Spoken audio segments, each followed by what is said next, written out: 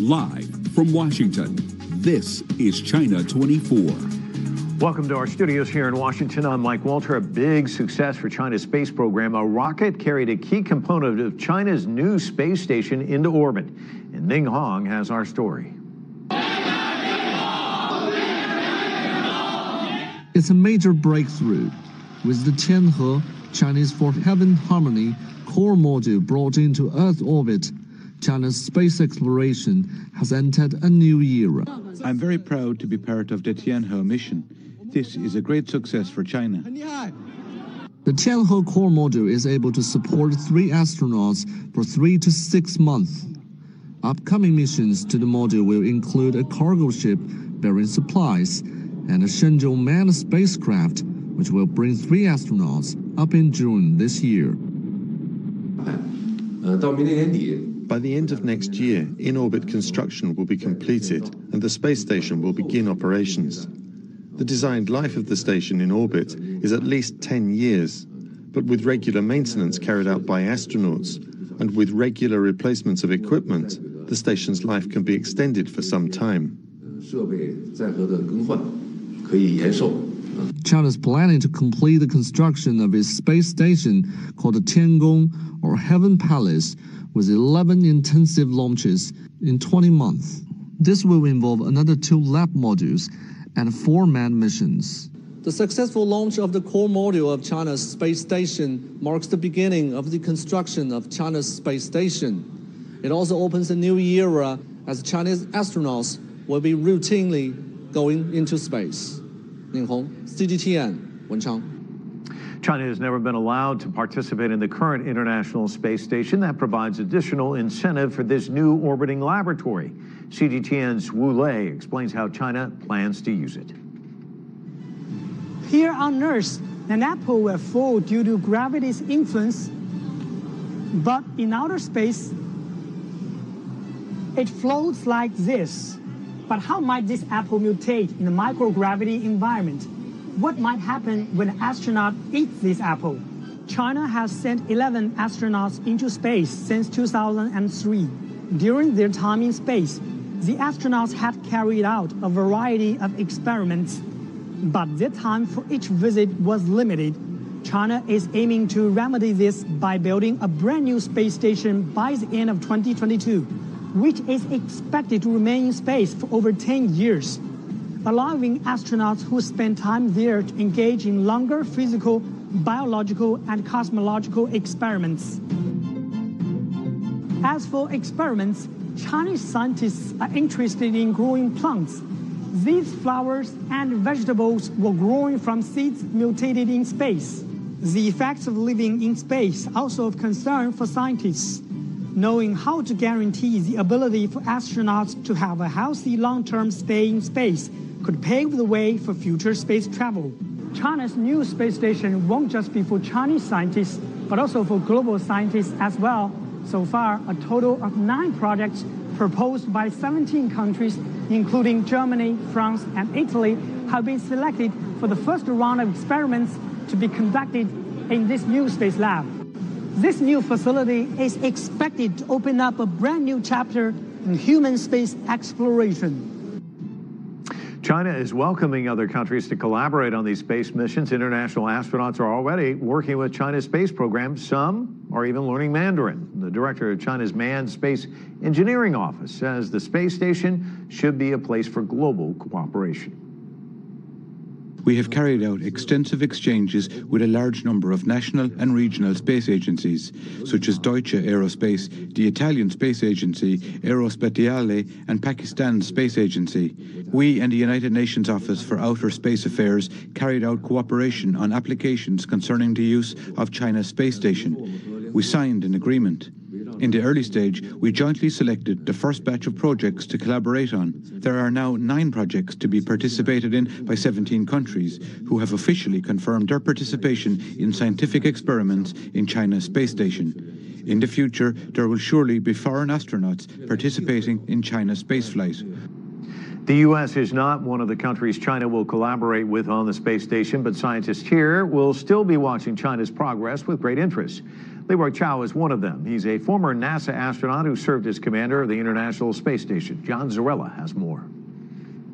Leroy Chiao knows more than a little about flying in space.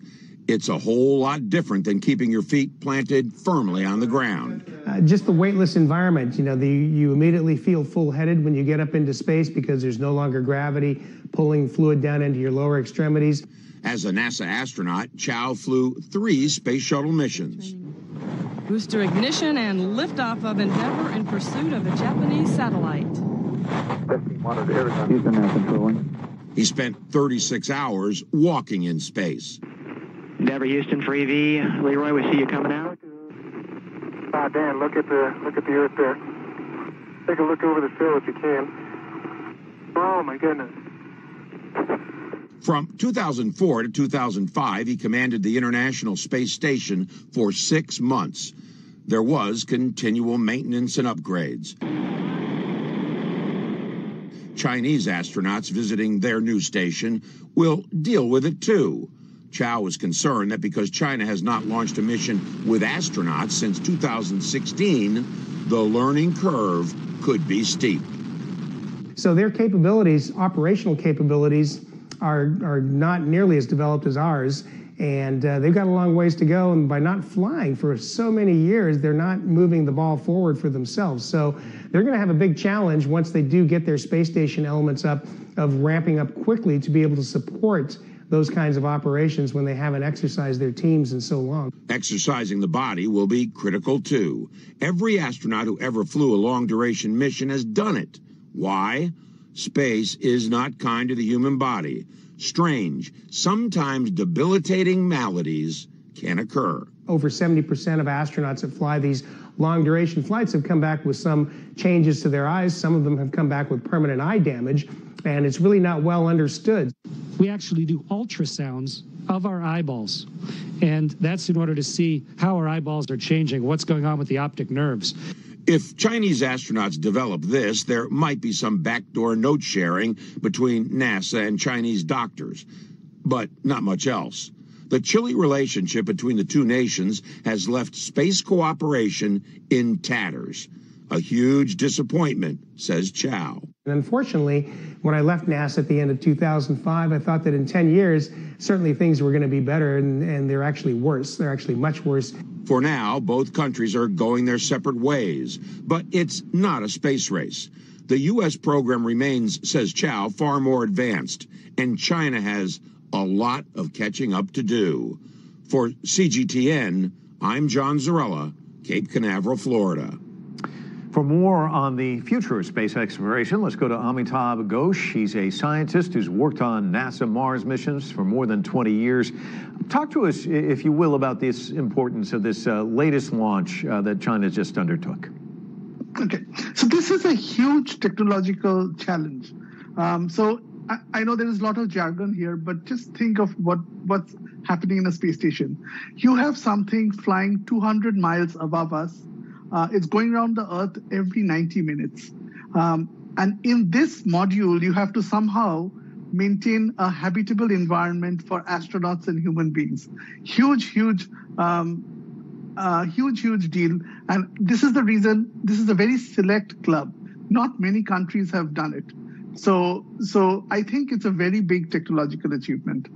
And so, what are some of the challenges uh, for this mission? Uh, because as we heard from Leroy Chiao, you know, in, in many cases, the Chinese have not put a lot of astronauts in space uh, for quite some time. So, just talk to us, frame it for us, if you will, about some of the challenges facing China's space program with this. See, I don't think it's a big deal. There is always a learning curve, and there is always hiccups, and ultimately. Um, somehow, somehow things have a way to work out.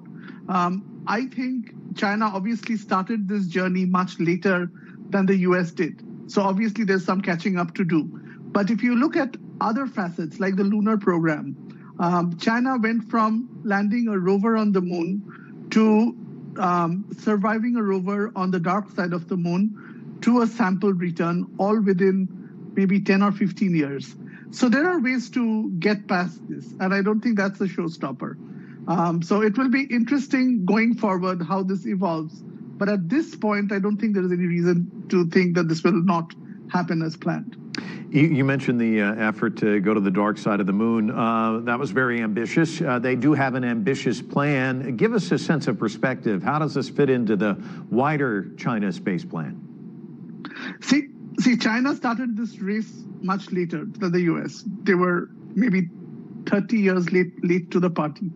So I think in a month or so, they are going to try to land a rover on Mars which is itself a very big achievement if it happens. It hasn't happened yet, but the or Mars orbiter has already happened, and the lunar sample return mission, which is a huge deal. So China has been able to return samples from the moon the first time after the Apollo program. Not a not a small small measure at all. So I think overall NASA um, the NASA has been progressing on different things, but China has been making serious headway and defining its own trajectory in space exploration. You heard uh, Leroy Chiao and, and, John Zarrella's report talking about how disappointed he is about the chilly relationship between the United States and China when it comes to working together on space. Do you see a time when that might change? And talk to us about China's involvement with some of these other countries. They're, they're talking about 17 other countries being involved. Right. So I think geopolitics and um, international relations are terribly hard to forecast. Um, so it, it's very tough to know when it will be feasible and when not. And I, I don't think it's even disappointing that it's not happening. The reality is, all these missions have international collaborators. China has a set of international collaborators.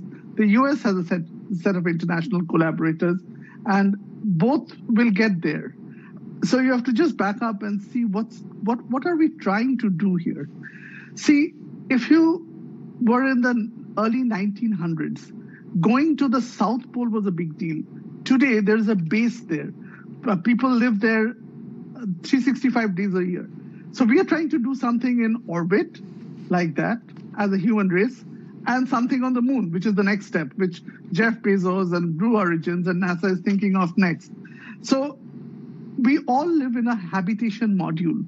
Even in sitting here in Washington D.C., we have air conditioning and shade, a shade, uh, a different um, things which make us comfortable. In a space station, we we need probably a pressurized vehicle. On on the moon, you need something else, radiation protection. But can humans move from Earth to space? And that is the big picture.